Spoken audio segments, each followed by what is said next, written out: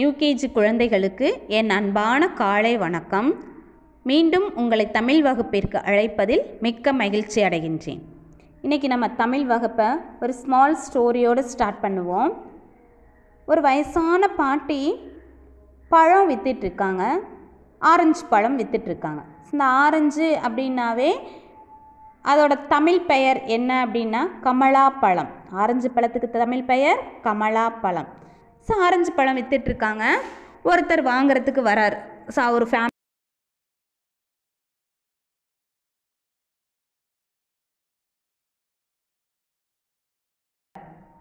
வாங்கி காசும் கொடுத்துட்டாரு.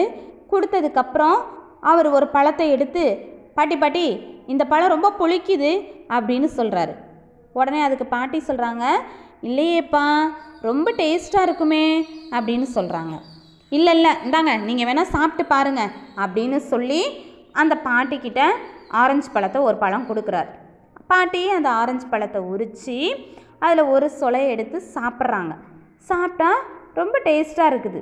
ஏன் இந்த பையன் இப்படி சொன்னார்? அப்படின்னு நினச்சி சிரிச்சுக்கிட்டே இல்லைப்பா இது ரொம்ப டேஸ்ட்டாக இனிப்பாக இருக்குது அப்படின்னு சொல்கிறார் சரி சரி அப்படிங்களா? அப்படின்னு சொல்லிட்டு அவர் காரை எடுத்துகிட்டு போயிடுறார். உடனே அந்த பக்கத்தில் ஒரு பாட்டி இருந்தாங்க. பக்கத்தில் இன்னொரு பாட்டி உட்காந்துருந்தவங்க என்ன? இந்த பையன் புளிக்குதுன்னு சொல்லிட்டு அந்த பையன் பேசாட்டு நல்லா இருக்குதுன்னு சொன்ன உடனே போயிட்டான். இது என்னது இது? நம்மளை ஏமாத்துறதுக்காக அந்த பையன் சொல்லியிருக்கானோ? அப்படின்னு சொல்லி இந்த பாட்டி இன்னொரு பா அந்த பழம் விற்கிற பாட்டியை பார்த்து கேட்குறாங்க அதுக்கு அந்த பழம் விற்கிற பாட்டி சொல்கிறாங்க சிரிச்சுக்கிட்டே இல்லை இல்லை. அந்த பையன் டெய்லியும் வருவாங்க. டெய்லியும் வந்து என்கிட்ட பழம் வாங்குவான். பழம் வாங்குறப்ப தினம் ஒரு பழம் எடுத்து இது புளிக்குது அப்படின்னு சொல்லி என்கிட்ட கொடுப்பான். நானும் சாப்பிட்டு பார்த்துட்டு இனிக்குதுன்னு சொன்னதுக்கப்புறம் அந்த பையன் போயிடுவாப்புல அந்த பையன் ஏமாத்தல. நானும் இதை தெரிஞ்சுக்கிட்டு தான் என்ன பண்ணுறேன் அந்த பையனுக்கு எடை போடுறப்ப வெயிட் போடுறப்ப ஸோ ரெண்டு பழம் எக்ஸ்ட்ரா போட்டு எடை போடுவேன். அப்படின்னு சொன்னேன். ஏன் அந்த பையன் அப்படி சொன்னாப்புல ஏன் அந்த பையன் அப்படி செய்கிறாப்புல அப்படின்னு சொல்லி அந்த பாட்டி இன்னொரு பாட்டி இருக்காங்க இல்லையா? அவங்க வந்து அந்த பழம் விற்கிற பாட்டிக்கிட்டே கேட்டிருக்காங்க. அதுக்கு அந்த பழம் விற்கிற பாட்டி சொல்கிறாங்க நான்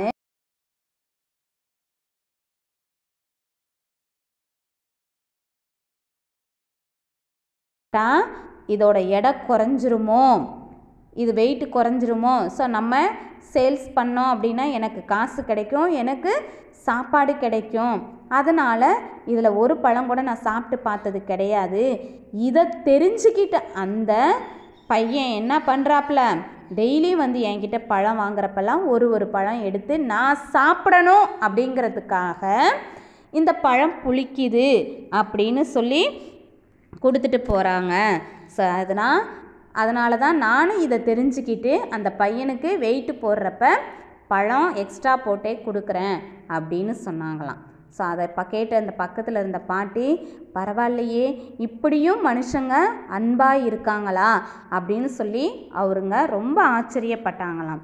ஸோ இதுலேருந்து என்ன தெரியுது அப்படின்னா நம்ம மற்றவங்க கிட்ட எப்பயுமே அன்போடு இருக்கணும். ஸோ அது மனுஷ மனிதர்களாக இருக்கட்டும் விலங்குகளாக இருக்கட்டும் இல்லை பறவைகளாக இருக்கட்டும் ஸோ எந்த ஜீவனாக இருந்தாலும் சரி நம்ம மற்றவங்க கிட்டே என்ன காமிக்கணும்? அன்பு காமிக்கணும். நம்ம மேலே எப்படி நம்மளோட பேரண்ட்ஸ் அன்போடு இருக்காங்களோ அதே மாதிரி நம்மளோட ஃப்ரெண்ட்ஸாக இருக்கட்டும் இல்லை பக்கத்தில் இருக்க குழந்தைங்களாக இருக்கட்டும் இல்லை உனக்கு தெரிஞ்ச அண்ணா அக்காவாக இருக்கட்டும் சரி நீ வளர்க்கக்கூடிய அனிமல்ஸாக இருக்கட்டும் பேர்ட்ஸாக இருக்கட்டும் எதுவாக இருந்தாலும் சரி அதுங்கக்கிட்ட நம்ம என்னவா இருக்கணும்?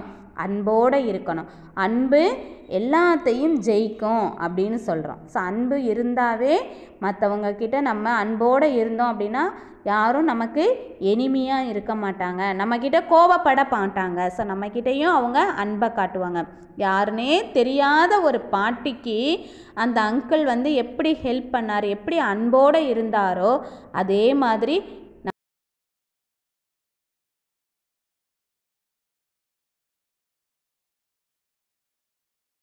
அது நான் வரிசை சொற்கள். அப்போ சொற்கள் பார்த்துக்கிட்டு இருக்கோம்.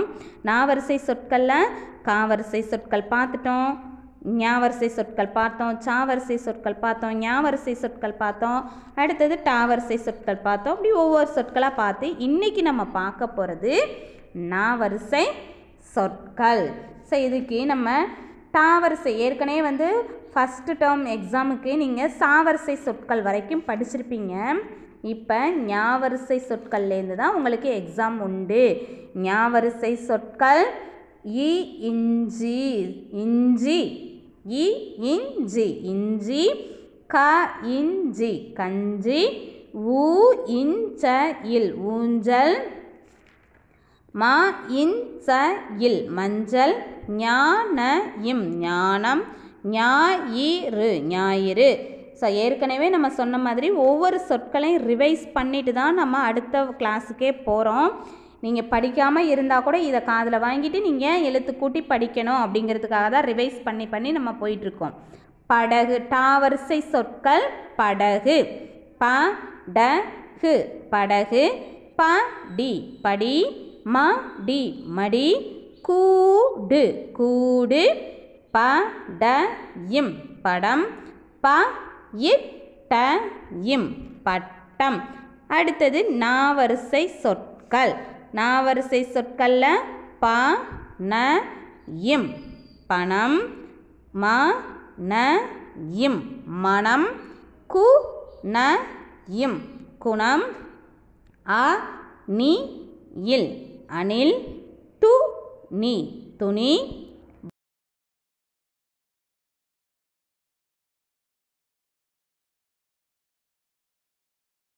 வரிசை சொற்கள் ஃபஸ்ட் ஒன் த இம் பி. தம்பி. தா இ. தாய். தி இங் க இல். திங்கள். தே இன் நை தென்னை. தே இர். தேர். தோ இ ட இம். தோட்டம். ஓகே இது வரைக்கும் நம்ம பார்த்துருக்கோம். ஸோ வீட்டில் எழுதி பார்த்து படிங்கன்னு சொல்லியிருந்தோம். எழுதி பார்த்து படிக்கிறீங்களா? வெரி குட் இன்றைக்கி நம்ம பார்க்க போகிறது நா வரிசை சொற்கள். நா இன் டு. ந இன் டு. நண்டு. ஸோ நண்டுன்னா கிராப் ஸோ எல்லாருக்கும் நண்டு நல்லாவே தெரியும். இந்த நண்டுக்கு பார்த்தீங்கன்னா பத்து கால்கள் இருக்குது ஸோ நம்ம நமக்கு எத்தனை கால்கள் அப்படின்னா இரண்டு கால்கள். ஓகேவா? ஸோ இதில் விலங்குகளுக்கெல்லாம் பார்த்தீங்கன்னா நான்கு கால்களும் இருக்குது ஸோ பூச்சிகளுக்கெல்லாம் பார்த்திங்கன்னா இன்செக்ட்ஸுக்கெல்லாம் கால்கள் வந்து வித்தியாசப்படும். ஆனால் இதில் நண்டுக்கு மட்டும் பத்து கால் இருக்கான் இந்த பத்து கால்லையும் பார்த்தீங்கன்னா ஸோ ஆண் ஆண் தனியாக பெண் தனியாக ஈஸியாக கண்டுபிடிச்சிடலாமா? இங்கே காலில் பாருங்கள் ஸோ இப்படி ரெட் கலரில் இருக்குது இல்லையா? ஸோ இந்த ரெட் கலரில் இருந்துச்சுனாவே அது வந்து பெண் நண்டு அப்படின்னு சொல்லலாம். கேர்ள் நண்டு அப்படின்னு சொல்லுவோம். அதுவே வந்து இது ப்ளூ கலரில் இருந்துச்சு. இந்த கால்லாம் பார்த்திங்கன்னா ப்ளூ கலரில் இருந்துச்சு அப்படின்னா இது வந்து நம்ம மேல் அப்படின்னு சொல்லுவோம். பாய் பாய் நண்டு அப்படின்னு சொல்லி சொல்லுவோம். ஓகேவா ஆண் நண்டு அப்படின்னு சொல்லுவோம். இது ரெட் கால் வந்து ரெட் கலரில் இருந்தால் அது பெண் நண்டு. இதுவே ப்ளூ கலரில் இருந்துச்சுன்னா அது பெண் நண்டு அப்படி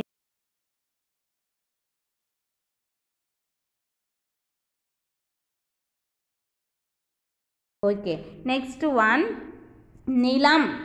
நீ ல இம் நிலம். நிலம் அப்படின்னா ஸோ நம்ம வாழக்கூடிய இடங்களை தான் நிலம் அப்படின்னு சொல்லுவோம். ஸோ இதை வந்து பஞ்சபூதங்கள் அப்படின்னு சொல்லுவாங்க. இது உங்களுக்கு இப்போ புரியாது. ஆனால் நம்ம வாழக்கூடிய இடங்கள் பார்த்திங்கன்னா நிலம் அதுக்கப்புறம் நீர் இருக்கும். ஓகேவா ஸோ நிலம் நீர் காற்று. அடுத்தது காற்று இருக்கும். ஸோ நிறைய இருக்குது உங்களுக்கு பஞ்சபூதங்கள்னு சொல்லுவாங்க. இப்போ உங்களுக்கு புரியாதுப்பா. ஸோ நீங்கள் ஃபஸ்ட்டு செகண்டு வர்றப்ப சோஷியலில் சயின்ஸ்லலாம் படிப்பீங்க. பஞ்சபூதங்கள் அப்படின்னு சொல்லி. ஸோ இப்போ பார்த்தீங்கன்னா நிலம். நம்ம வாழக்கூடிய ப நிலங்களை தான் நம்ம வாழக்கூடிய இடங்களை தான் நிலம் அப்படின்னு சொல்லுவோம். ஸோ நம்ம மட்டுமா வாழுவோம் அப்படின்னா இல்லை. ஸோ காடுகள் அப்படி இருக்கும். ஸோ விலங்குகள்லாம் இருக்கக்கூடிய பிளேஸு இது எல்லாமே சேர்த்து தான் நிலம் அப்படின்னு சொல்லுவோம். நம்ம விவசாயம் பண்ணக்கூடியதையும் நிலம் அப்படின்னு தான் சொல்லுவோம். வயல் இருக்கு இல்லையா? அந்த வயலையும் நிலம் அப்படின்னு தான் சொல்லுவோம். நெக்ஸ்ட்டு நெல். நெக்ஸ்ட்டு நெல். ஸோ இப்போ பார்த்தீங்கன்னா நெல் வந்து நிறைய இந்த சீசனில் தான் நெல் அறுவடை செய்வாங்க. வயலில் நெல் விளையும். ஸோ நமக்கு சாப்பிடக்கூடிய அரிசி எங்கேருந்து கிடைக்குது அப்படின்னா இந்த நெல்லுலேருந்து தான் கிடைக்குது. இந்த நெல்லை என்ன பண்ணுவாங்க அப்படின்னாக்க மிஷினில் கொடுத்தோ இல்லைன்னா வேக வச்சு அரைக்க மிஷினில் கொடுத்து அரைக்குவாங்க. ஸோ அந்த அரைக்கிறப்ப இந்த நெல்லில் இருக்கக்கூடிய இந்த தோல் இருக்கு இல்லையா? ஸோ உமி அப்படின்னு சொல்லுவாங்க. ஊ மீ உமி அப்படின்னு சொல்லுவாங்க இந்த தோல். அந்த ஸ்- தோல் வந்து எடுத்துட்டு நமக்கு அது உள்ளுக்கு இருக்கக்கூடிய அந்த ரைஸ் மட்டும் வரும். ஸோ வேக வச்சு அரைச்சோம் அப்படின்னா அதை நம்ம என்ன அரிசின்னு சொல்லுவோம்னா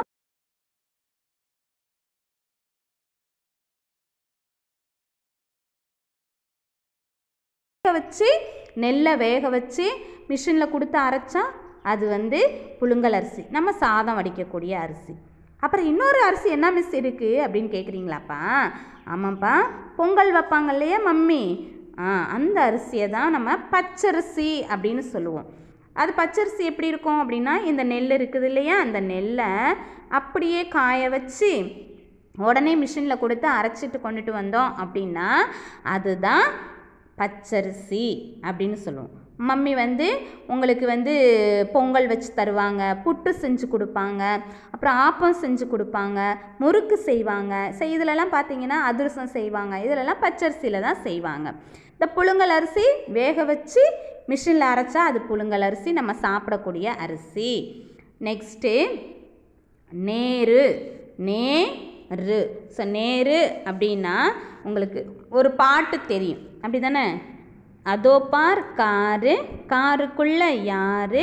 நம்ம மாமா நேரு நேரு என்ன சொன்னார்?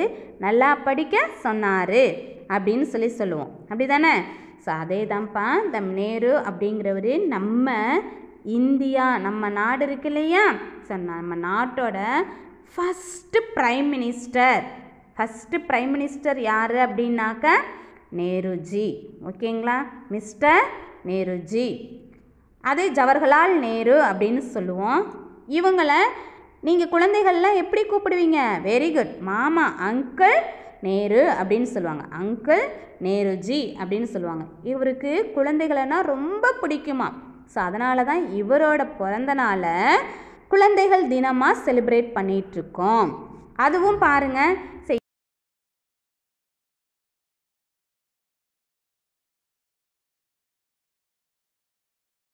பண்ணி தான் அவர் ட்ரெஸ்ஸே வியர் பண்ணுவாராம். ட்ரெஸ்ஸை அணிவாராம். ஸோ அப்போ அவருக்கு ரோஸையும் ரொம்ப பிடிக்கும். அதே மாதிரி குழந்தைகளையும் ரொம்ப பிடிக்கும். ஏன் வந்து இவருக்கு குழந்தைகளை ரொம்ப பிடிக்கும் அப்படின்னா ஒரு ரோஸ் செடியில் நிறைய முள் இருக்கும். ஸோ முள் இருந்தால் தான் முள் இருந்து அதுக்கப்புறம் தான் அந்த ரோஸ் பூ பூக்கும். அதே மாதிரி அந்த ரோஸ் வந்து ரொம்ப ரொம்ப சாஃப்டாக இருக்கும். பார்க்குறவங்கள மனசை கவரக்கூடியது. நீங்களும் அதே மாதிரி தான் நிறைய தவறுகள் செஞ்சாலும் நீங்கள் வந்து உங்கள் மனசு வந்து தெய்வத்திற்கு ஈடு அப்படின்னு சொல்கிறாங்க குழந்தையும் தெய்வமும் ஒன்று. ஸோ நீங்கள் டக்குன்னு பொய் சொல்ல மாட்டீங்க. ஸோ ஏதோ ஒரு நேரத்தில் தவறுதலாக ஸோ நீங்கள் சொல்லணும் அப்படிங்கிறதுக்காண்டி சொல்ல மாட்டீங்க. நீங்கள் ஏதாவது சூழ்நிலையால் நீங்கள் டக்குன்னு மாற்றிக்கோ மம்மி அடிப்பாங்க டேடி அடிப்பாங்க அப்படின்னு பயந்து போய் தான் அந்த பொய் சொல்லுவீங்க. ஆனாலும் அந்த பொய் வந்து ரொம்ப நேரத்துக்கு வச்சுருப்பீங்கன்னா வச்சுருக்க மாட்டீங்க. உடனே வந்து உண்மையை சொல்லிடுவீங்க ஸோ அந்த மாதிரி தான் உங்ககிட்ட சின்ன சின்ன தவறுகள் இருந்தாலும் நீங்கள் தெய்வத்திற்கு ஈடானவர்கள். ஸோ தெய்வம் வந்து நம்மளை ஏதாவது கஷ்டப்படுத்தும் ஆனால் கடைசியில் நம்மளை காப்பாற்றணும் அப்படின்னு சொல்லி சொல்லுவாங்க இல்லையா? நம்ம கட் காடை ப்ரேயர் பண்ணோன்னா காடை நமக்கு கேட்குறதெல்லாம் செய்வாங்கன்னு சொல்கிற மாதிரி நீங்களும் எல்லா விதத்துலேயும் நல்லவங்களாக இருப்பீங்க அப்படிங்கிறதுனால தான் நேருஜிக்கு குழந்தைகள்னால் ரொம்ப ரொம்ப பிடிக்குமா. ஸோ இவர் தான் நம்மளோட ஃபஸ்ட்டு ப்ரைம் மினிஸ்டர் நம்மளோட ஃபஸ்ட்டு ப்ரைம் மினிஸ்டர் யார்? ஜவஹர்லால் நேரு. சரி இப்போ நம்மளோட ப்ரைம் மினிஸ்டர் யாருப்பா? மிஸ்டர் மோடி. மிஸ்டர் மோடி. அவர் தான் நம்மளோட இப்போ இருக்கக்கூடிய ப்ரெஸ் ப்ரைம் மினிஸ்டர். ஆனால் நம்மளோட first prime minister mister Jawaharlal Nehru.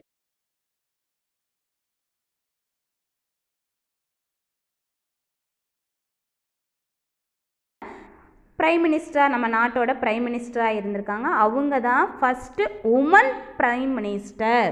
அவர் தான் என்ன யார்?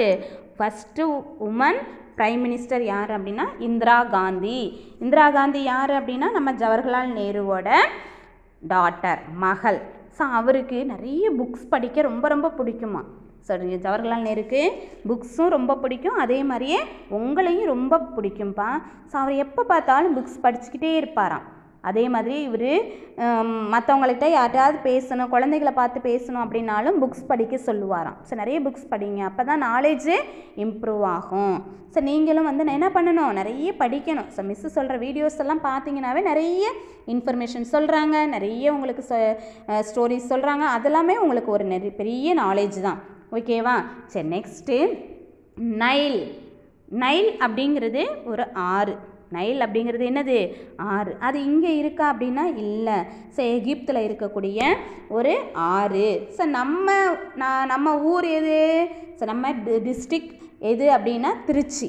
நம்ம திருச்சியில் இருக்கக்கூடிய ஆறு ரிவர் எது அப்படின்னா காவிரி. ஸோ நம்ம திருச்சியில் என்ன ரிவர் இருக்குது காவிரி. ஸோ அதே மாதிரி எகிப்தில் என்ன ரிவர் இருக்குது அப்படின்னா நைல்.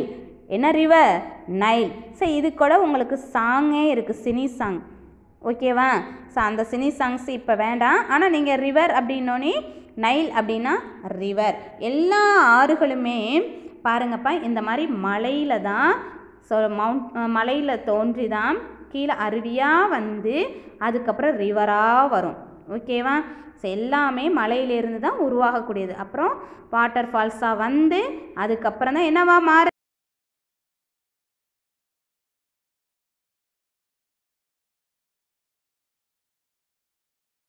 நம்ம சொன்னோம் இல்லையா? ஸோ நமக்கு வாழக்கூடிய இடம் வந்து நிலம்.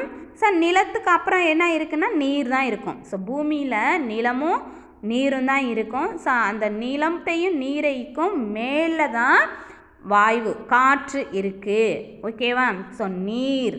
நீ ஈர் நீர். அது ஆற்று நீரை சொல்லலாம் குளத்து நீரை சொல்லலாம் இல்லை கடல் நீரை சொல்லலாம். ஸோ இப்படி எந்த நீரை வேணாலும் சொல்லலாம். அது பொதுவாக நம்ம நீர் அப்படின்னு சொல்லியிருக்கோம். நீர் வந்து நமக்கு ரொம்ப ரொம்ப ரொம்ப முக்கியமானது. நம்ம சாப்பிடாம ஸோ ஒரு ஃபோர் டேஸ் கூட இருக்கலாம்.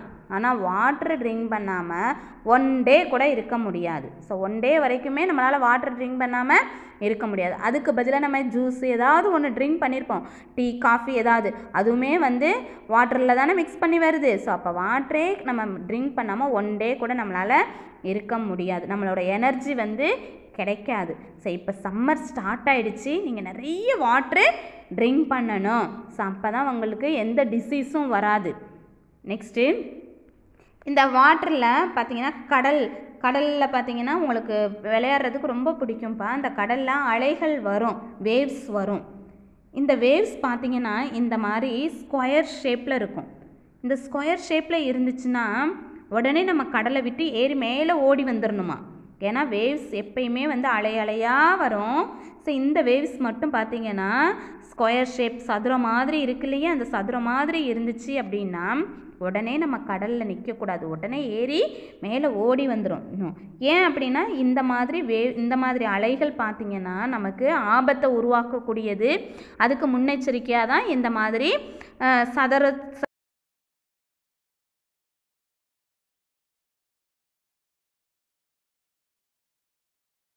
போனீங்கன்னா இந்த மாதிரி கடல் பக்கத்தில் போய் ப்ளே பண்ண போனீங்கன்னா இந்த மாதிரி வேவ்ஸ் பார்த்தீங்கன்னா உடனே மம்மி டாடிட்ட சொல்லி கூட்டிகிட்டு ஓடி வந்துடுங்க ஓகேவா சரி. நெக்ஸ்ட்டு நமக்கு கண்கள் இரண்டு அப்படின்னு சொல்லியிருக்கோம். யாவருக்கும் கண் இரண்டு அப்படின்னு சொல்கிறோம் இல்லையா? ஸோ உங்களுக்கு அந்த பாட்டே சொல்லியிருப்போம். தலை யாவர்க்கும் ஒன்று முகத்தில் கண் இரண்டு முக்காலிக்கு கால் மூன்று நாற்காலிக்கு கால் நான்கு கை ஒரு கை விரல் ஐந்து ஈயின் கால் ஆறு வாரத்தின் நாட்கள் ஏழு சிலந்திக்கு கால் எட்டு தானிய வகை ஒன்பது இரு கை விரல் பத்து அப்படின்னு சொல்லி நம்ம நம்பர்ஸ் படிக்கிற தமிழில் நம்பர்ஸ் படிக்கிறப்பயே நம்ம சொல்லியிருந்தோம். ஸோ கண்கள் எல்லாருக்குமே ரெண்டு கண்கள் அப்படின்னு சொல்லியிருந்தோம். ஆனால் அந்த தேனி ஹனிபி இருக்கு இல்லையாப்பா? அந்த ஹனிபிக்கு மட்டும் ஃபைவ் கண்களாம் அஞ்சு கண்கள் இருக்குமா பார்த்துக்கங்களேன் ஸோ நமக்கெல்லாம் ரெண்டே ரெண்டு கண்கள் தான். ஆனால் சிவா காடு இருக்கார் இல்லையா? ஸோ சிவா காடுக்கு மூன்று கண்கள் இருக்குது அப்படின்னு சொல்லுவாங்க. ஏன்னா கண்கள் இரண்டு அதுக்கப்புறம் நெத்தி இருக்கு இல்லையா? ஸோ அந்த நெத்தியில் ஒரு கண் இருக்கும். அதை தான் நம்ம உலகத்தையே கவனிக்கக்கூடிய கண்கள் அப்படின்னு சொல்லுவோம். நெற்றி கண் அப்படின்னு சொல்லுவாங்க. ஆனால் இந்த தேனீக்கும் பாருங்களேன் ஃபைவ் ஐஸ் இருக்குதான். ஸோ அஞ்சு கண்கள் இருக்கக்கூடிய ஒரு பறவை அப்படின்னாக்க ஹனிபி. சுறுசுறுப்புக்கு பார்த்தீங்கன்னா ஆக்டிவாக இருக்கும். எப்போ பார்த்தாலும் இது ஹனிபியை தேடி தேடி போய்கிட்டே இருக்கும். ஹனி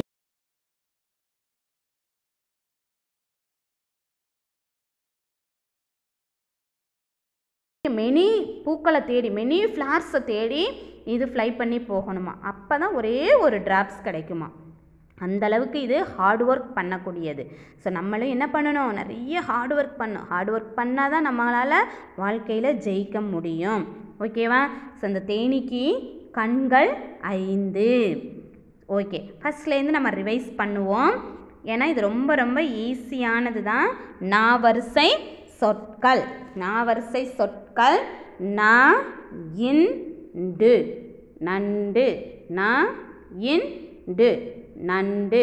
ஸோ அந்த நண்டுக்கு இது வந்து பந்துக்கு வர நா அப்படின்னு சொல்லுவோம். பந்தில் வரக்கூடிய இந்து போடுவோம். ஸோ அதில் தான் இது நா அப்படின்னு சொல்லுவோம். ஸோ நண்டு நா இன் டு. நண்டு. மூணு சுழி இன்னு வரணும்.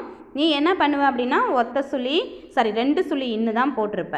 ஆனால் இந்த இடத்துல ஒரு இருக்கு இல்லையா? இது நீ போட தேவையில்லை. இந்த நண்டு அப்படின்ற வார்த்தையை மட்டும் எழுதுனா போதும். நான் என் டு நண்டு.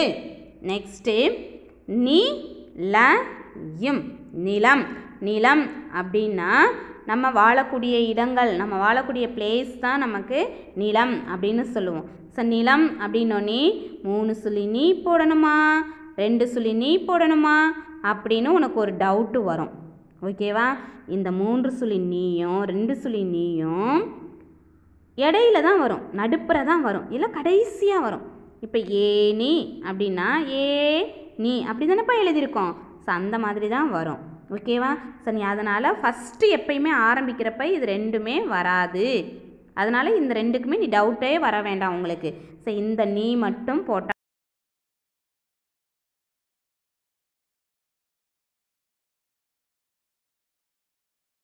நெல் நே இல் நெல் நே இல் நெல்.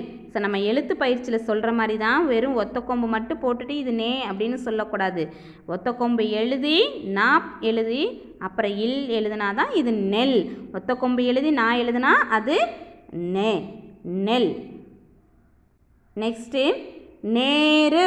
ஸோ ரெட்டை கொம்பு எழுதி ரூ எழுதுனீங்கன்னா இது நேரு. நேரு நேரு. இதே வெறும் இரு மட்டும் பார்த்தோம்னா நேர். நேர் அப்படின்னு சொல்லுவோம். நேர் அப்படின்னா நம்ம ஸ்ட்ரைட்டாக பேசுகிறோம் இல்லையா? ஒருத்தருக்கு ஒருத்தர் முகத்தை பார்த்துக்கிறோம் இல்லையா? அதான் நேருக்கு நேர் அப்படின்னு சொல்லி சொல்லுவோம். இது நேரு. இது வந்து ரூ வந்திருக்கிறதுனால இது நம்ம மிஸ்டர் ஜவஹர்லால் நேரு. அவரோட நேமை தான் நீங்கள் கஷ்டப்படக்கூடாது அப்படின்னு சுருக்கி நேரு அப்படின்னு ரெண்டே ரெண்டு எழுத்தில் சொல்லியாச்சு. நேரு நேரு. Next Nile. நை இல் நைல் நை இல் நைல்.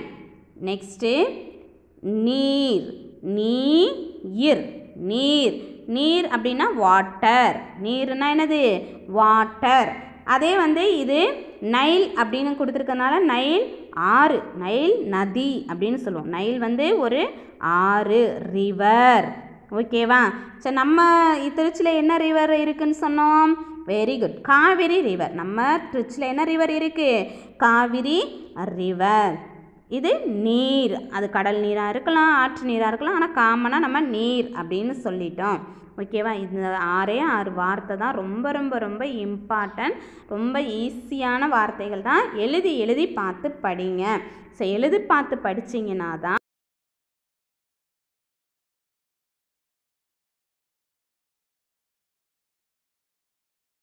சென்ட் பண்ணிடுங்க கண்டிப்பாக உங்களுக்கு ஏப்ரல் மந்த்து எக்ஸாம் இருக்குது அதனால் அதை மின் பண்ணி ரீட் பண்ணுங்கள் எழுதி பார்த்து படிங்க. எக்ஸாம் இல்லையே அப்படின்னு லேசியாக இருந்துடாதீங்க ஸோ நான் இண்டு நண்டு நீல இம். நிலம் நை நே இல். நெல் நேரு நேரு நை இல்.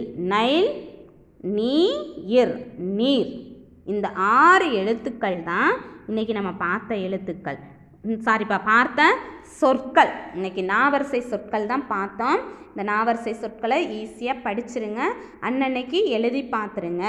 ஸோ ஓகே தேங்க்யூ மீண்டும் அடுத்த வகுப்பில் நம்ம சந்திப்போம். நன்றி வணக்கம்.